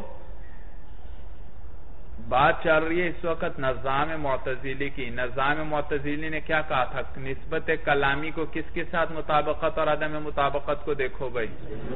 نسبت ذہنی کے ساتھ۔ اور یہ جو شاک ہے مولانا اس کو تو سرے سے کوئی اعتقاد ہی نہیں ہے۔ نہ اس کو قیام کا اعتقاد ہے اور نہ عدم قیام کا اعتقاد ہے مولانا۔ اور حالانکہ اعتقاد کا ہونا تو ضروری تھا اس کے اندر بھائی۔ تو لہذا اشکال ہوگا اس پر۔ خبر شاک مولانا خارج ہو جائے گی، نہ وہ صادق ہے۔ صادق اس لیے نہیں کہ وہ اعتقاد کے مطابق اور قاذب بھی نہیں، کیونکہ وہ کیا ہے؟ اعتقاد کے ساتھ عدم مطابقت بھی، اعتقاد ہے ہی نہیں تو عدم مطابقت کہاں سے آئی؟ کیا زید قائم اور ذہن میں ہو، ما زید بھی قائم تو پھر کیا آئے گی؟ عدم مطابقت۔ تو یہاں تو صرف سے اعتقاد ہی نہیں۔ نہ مطابقت آ سکتی ہے اور نہ عدم مطابقت آ سکتی ہے بھائی۔ اشکال سمجھ میں آیا بھائی؟ وَهَذَا يُشْكَلُ بِخَبَرِ الشَّاكِ۔ اور اس پہ اشکال کیا جائے گا بخبر الشَّاكِ۔ لِعَدَمِ الْاعْتِقَادِ فِيهِ۔ اس لیے کہ اس میں اعتقاد ہی نہیں ہوتا۔ فَيَلْزَمُ الْوَاسِطَةُ۔ تو واسطہ لازم آئے گا۔ ولا يتحقق الانحصار اور انحصار ثابت نہیں ہوگا بھائی۔ انہوں نے تو کیا کہا تھا؟ کلام بند ہے یا صادق ہوگا یا؟ کلام خبر یا صادق ہوگا یا؟ لیکن خبر شاک نہ صادق ہے اور نہ تو واسطہ ثابت ہو گیا۔ اللہم الا ان یقال، سے جواب دے رہے ہیں مولانا۔ یاد رکھو مولانا، اللہم قیلہ اور قد یجابو اس کے ذریعے کمزور جوابات ذکر کیے جاتے ہیں۔ اللہم قیلہ اور قد یجابو کے تو چونکہ یہ بات بڑی مشکل، بڑا مشکل اعتراض واقع ہو رہا ہے، تو اب علامہ تفتازانی جواب دینے کی کوشش کر رہے ہیں اور جواب چونکہ بے انتہا کمزور ہے، اس لیے اللہم لے کر آئے بھائی. اصل گویا عبارت کیوں ہے؟ اللہم لا مخلص لی ان حاضل اعتراضی الا ان یقال. اے اللہ، میرے لیے اس اعتراض سے کوئی چھٹکارا نہیں، سوائے اس کے کہ یوں کہا جائے۔ یہ جواب دے سکتے ہیں بڑا کمزور سا۔ اللہم ان یقال، مگر یہ کہا جائے کہ انہو قاذبون کی یہ کیا ہے مولانا؟ یہ خبر شاہ کیا ہے؟ یہ قاذب ہے۔ لِأَنَّهُ زَنْتَفَ لِعْتِقَاد بھئی دیکھو، کہتے ہیں بھئی خبر شاک نہ صادق ہے، نہ قاذب ہے۔ اعتراض یہ ہوا تھا۔ کہتے ہیں بھئی یہ قاذب ہے۔ کس طرح قاذب ہے؟ اس لیے کہ کلام خبری اگر اعتقاد کے مطابق ہو تو کیا کہلاتا ہے؟ صادق۔ اور یہ اعتقاد کے مطابق نہیں، کیونکہ اعتقاد ہی نہیں سرے سے۔ جب اعتقاد ہی نہیں سرے سے تو کیا آئی مولانا؟ آدم مطابقت لازم آئی۔ جواب سمجھ میں آ رہا ہے بھائی، کمزور سا جواب ذکر کر رہے ہیں۔ دیکھو کلام خبری مولانا، اگر اعتقاد کے مطابق ہو تو کیا کہلاتا ہے؟ صادق. اور یہ کلام خبری جو شک نے کہا، کیا کہ زید کھڑا ہے؟ کیا یہ اعتقاد کے مطابق ہے؟ جب اعتقاد کے مطابق نہیں تو خود بخود کیا آ گئی؟ ہاں، لازمی بات ہے، عدم مطابقتی آئی۔ تو لہٰذا یہ کیا ہوا؟ کلام کاذب ہوا، کلام کاذب۔ اللہم اللہ یقال انہو قاذب انہو ان کی کلام خبر شاک قاذب ہے، لئنہو اذن تفل اعتقاد اس لیے کہ جب اعتقاد منتفی ہوا، صدق عدم مطابقت الاعتقادی تو صادقائی اعتقاد کے ساتھ عدم مطابقت۔ لیکن کمزور ہے یہ جواب۔ آپ کہیں گے جواب تو ہو گیا۔ جب مطابقت نہیں آئی تو پھر لازمی بات ہے کیا آئی؟ آدم مطابق کہتے ہیں، نہیں بھائی، جواب پھر بھائی بڑا کمزور ہے۔ اس لیے کہ انہوں نے کہا تھا، اعتقاد ہونا ضروری ہے، ولو خطان اگرچہ کیا ہو؟ غلطی کیوں نہ ہو، اعتقاد ضرور ہونا چاہیے، چاہے صدق ہو، چاہے سمجھ میں؟ تو وہاں اعتقاد، اور یہاں تو سرے سے کوئی اعتقاد ہی نہیں۔ سمجھ میں آیا؟ نیز مولانا اس سے شبہ یہ بھی پڑتا ہے کہ انشاء کے اندر بھی کذب جاری ہو گیا۔ انشاء میں بھی تو مولانا مطابقت کا اعتقاد ہوتا ہے یا مطابقت کا اعتقاد نہیں ہوتا بھائی؟ انشاء کے اندر تو بھائی مطابق، بھائی میں کہتا ہوں ازرب زیدن اب آپ دیکھیں گے مطابقت یا آدم مطابقت کو۔ جی؟ نہیں، وہاں تو دیکھا۔ ہاں میں کہتا ہوں زید قائم، زید کھڑا ہے، آپ فوراً دیکھیں گے کہ یہ سچ کہہ رہا ہے یا سمجھ میں آیا؟ تو انشاء کے اندر تو مولانا وہاں تو مطابقت آدم مطابقت کو نہیں دیکھا جاتا، تو وہاں مولانا اعتقاد مطابقت کا نہیں، جب اعتقاد مطابقت کا نہیں، تو وہاں آپ نے جو جواب دیا کہ جب مطابقت نہیں تو لازمی بات ہے خود بخود کیا آ گئی؟ آدم مطابقت، تو پھر تو یہ انشاء میں بھی آ جائے گا، تو معلوم ہو انشاء میں بھی موصوف ہوگا، کس چیز کے ساتھ؟ کذب کے ساتھ؟ کس کے ساتھ؟ کذب کے ساتھ؟ اچھا کہتے ہیں بھائی، والکلام فی ان المشکوک خبر او لیس بخبر مذکور فی الشرح فلیطال سمہ۔ علامہ تفتازانی فرما رہے ہیں بھائی۔ کہتے ہیں ہم نے تو باتیں کافی گہری باتیں کرنے کی کوشش کی، لیکن چونکہ آپ لوگ انتہائی تحقیق پسند ہیں اور زیادہ گہرائی میں جانا پسند کریں گے تو اگر اور گہرائی میں جانا چاہتے ہیں اس سلسلے میں اور یہ دیکھنا چاہتے ہیں کہ یہ مشکوک کی خبر بھی خبر شاک خبر بھی ہے یا خبر نہیں، تو ہماری شارع جو ہم نے پہلے لکھی تھی متول وہاں پر دیکھ لیجیے، وہاں اس کا مطالعہ کر لیجیے۔ وَالْكَلَامُ فِي أَنَّ الْمَشْكُوكَ خَبَرٌ أَوْ لَيْسَ بِخَبَرٍ۔ مذکور ان فی الشرح اور کلام اس بارے میں کہ مشکوک خبر ہے یا خبر نہیں، یہ مذکور ہے فی الشرح شرح کے اندر۔ فَلْيُطَالِعَ سَمَّهْ چاہیے کہ مطالعہ کر لے وہاں پر۔ سَمَّهْ اس میں اشارہ ہے مولانا، اس میں اشارہ بھائی۔ سمجھ میں آیا؟ جیسے کہ جیسے ذالکہ ہے نا، اسی طرح سَمَّهْ مطالعہ کر لے وہاں پر۔ اور یہ ہا ضمیر نہیں ہے مولانا، یہ وقف کے لیے ساتھ ملاتے ہیں کبھی کبھی۔ سَمَّهْ شالي يا مولانا. هذا هو المرام. الله أعلم بحقيقة الكلام.